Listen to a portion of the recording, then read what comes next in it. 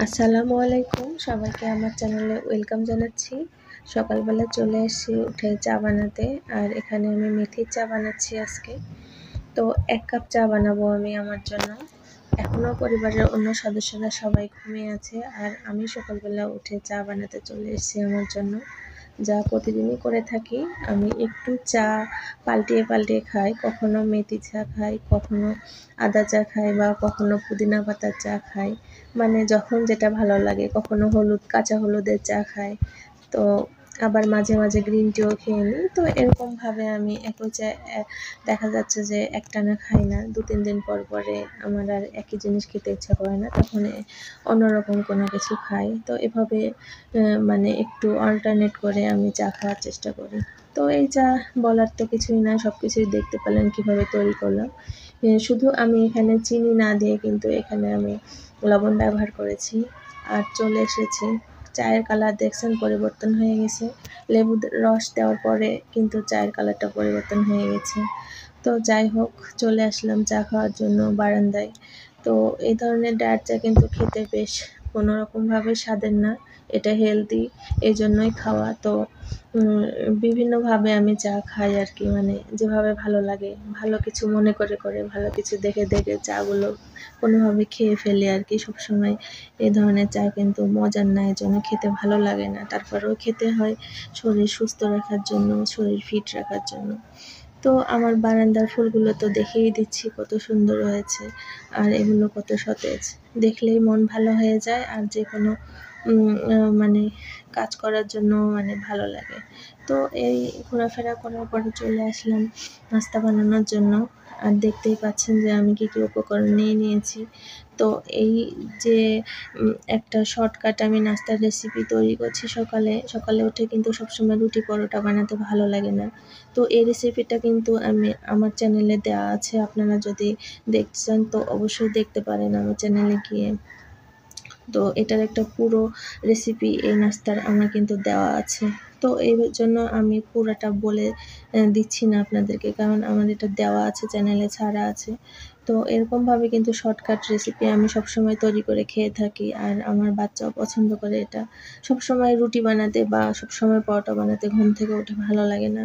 আর একই রকম খাবারও কিন্তু সবসময় ভালো লাগে না। একটু শীতের সময় এরকম ঝাল ঝাল নাচতে কিন্তু খুব ভালোই লাগে খেতে। আর এটা অনেক হেলদি একটা ডিম দিয়ে তৈরি করে দেখা যাচ্ছে পরিবারের তিন চারজন সদস্য বা পাঁচ সাতজন সদস্য মিলে মানে সব কিছু বাড়িয়ে দিলে আর কি খাওয়া যায়। যেরকম আটার পরিমাণ, সবজির পরিমাণ বাড়িয়ে দিলে, একটা ডিম দিলেও কিন্তু দেখা যাচ্ছে আপনার পরিবারের পাঁচ থেকে সাতজন সদস্যরা, সকালবেলা তো কেউ বেশি নাস্তা পছন্দ করেন না, দুই একটা খেলেই হয়ে যায়, তো সেরকমই এক দুটা আর কি খেয়ে নিয়ে নিয়ে কিন্তু এটা হয়ে যাবে আর কি। তো আমি এভাবে করে এই নাস্তাগুলো বানিয়ে নিচ্ছিলাম। এটা কিন্তু মানে কোনো রকম বেলাবেলি বা কোনো কিছু ছাড়াই একদম রেডি হয়ে যায় আর এক একটা মানে পাঁচ মিনিটের মধ্যেই তৈরি হয়ে যায়। এটা কেউ নরম খেতে চাইলে নরম করে ভেজে নেবেন আর কেউ যদি ক্রিস্পি খেতে চান সেক্ষেত্রে একটু বেশিক্ষণ তাওয়াতে রাখলে কিন্তু ক্রিস্পি হয়ে যায়। খুব মজার লাগে এই নাস্তাটি শর্টকাট নাস্তা। এটা আমি তৈরি করে মানে বেশিরভাগ শীতের সময় এটা খেয়ে থাকি, ভালো লাগে খেতে। আর খুব তাড়াতাড়ি হয়ে যায় সকালবেলার এই নাস্তাটি। তো এই নাস্তাটি আমি একটা খাব। যেহেতু সকালবেলার নাস্তা আমি খুব কম খাই, যখন খেতে ইচ্ছা করে তখন হয়তো বা একটা রুটি খেলাম বা যে কোনো নাস্তা তৈরি করলে একটা খেলাম, দুটো খাই না এরকম। তো দুপুরের রান্না কিন্তু আমি রেডি করে ফেলেছি। আজকে শর্টকাট দুপুরের রান্না হয়ে যাচ্ছে। তো এখানে দেখিয়ে দিলাম কি কি করে নিয়েছি। এখানে ডাল হয়ে গেছে, সিম ভাজি হয়ে গেছে, ভাত রান্না হচ্ছে, আর এখানে আমি গরম গরম মাছ ভাজি করছি। মাছ ভাজা কিন্তু ঠান্ডা হয়ে গেলে অতটা ভালো লাগে না। এজন্য দেখা যাচ্ছে ভাত আর মাছ ভাজা একসঙ্গে ওঠানো মানে উঠিয়ে দিয়েছি যে ভাতটাও হয়ে যাবে এর দিকে আমার মাছ ভাজিও হয়ে যাবে, পরে গরম গরম ভাতের সঙ্গে মাছ ভাজা দিয়ে সব কিছু খাওয়া যাবে আর কি। তো আমি কিন্তু মাছ ভাজা করার সময় বরাবরই এরকম একটু কাঁচামরিচ আর পেঁয়াজ তার সঙ্গে ভেজে নিয়ে আমার কাছে এটা খুব ভালো লাগে আর আমার মেয়েও কিন্তু এটা খুব বেশি পছন্দ করে। তো গরম ধোয়াটা ভাত তো আমি আমার জন্য নিয়ে নিচ্ছি, আর আমার মেয়েকে বা পরিবারের সব সদস্যকে কিন্তু আমার দেওয়া হয়ে গেছে খাবার, আর আমি লাস্টে খেতে এসেছি নামাজ পড়ে তো আমার খাবারটা আমি বেড়ে নিচ্ছি আর আপনাদেরকেও দেখিয়ে দিচ্ছি। তো ভাতের পরিমাণটা আর কি আমি এভাবে নিয়েছি যে এক বাটি পরিমাণ হবে, একটু ছড়িয়ে নিয়েছি তাই।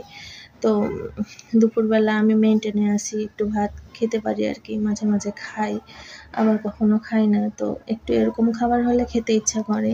ডাল ভাজি, শিম ভাজি করেছিলাম, সেটাও নিয়েছি। এখানে মাছ ভাজি নিয়েছি, আমি শশা নিয়েছি, এখানে একটা লেবু নিয়েছি, কাঁচামরিচ নিয়েছি।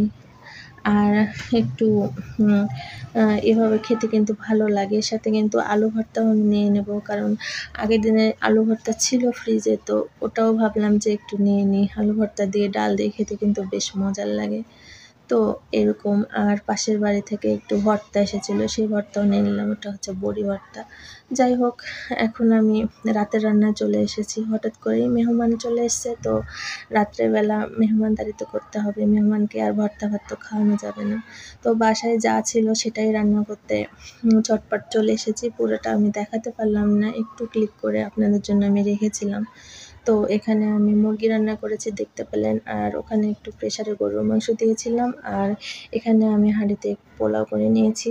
বাচ্চা কাচ্চা মানুষ কিন্তু পোলাও পেলে বেশি পছন্দ করে। তো তাদের জন্য এরকম হালকা পাতলা একটা আয়োজন আর কি। তো এখানে আমি একটু টেবিলটা গুছিয়ে নিয়েছি। তো আর প্লেটে খাবারও বেড়ে দিয়েছি। আমি কিন্তু বেগুন ভাজাও করে নিয়েছিলাম আর সালাদ কেটেছিলাম। তো সেগুলো সব কিছু আমার তখন দেখানো হয়েছিল না। আসলে একা মানুষ তো সব কিছু অ্যারেঞ্জ করতে গিয়ে দেখাতে পারিনি সব কিছু ঝটপট। তো লেবুও কেটে নিয়েছিলাম আর আমার সেই পিচ্ছি মামনিদেরকে খেতেও দিচ্ছি আমি আর তারা খাচ্ছেও। তো এক ঝলক আমি একটু দেখিয়ে দিলাম যে তারা মজা করে খাচ্ছিল আর আমি খাবার পরিবেশন করে দিচ্ছিলাম। তো ভালো থাকবেন সবাই, দেখা হবে নতুন কোনো ব্লগে আসসালামু আলাইকুম।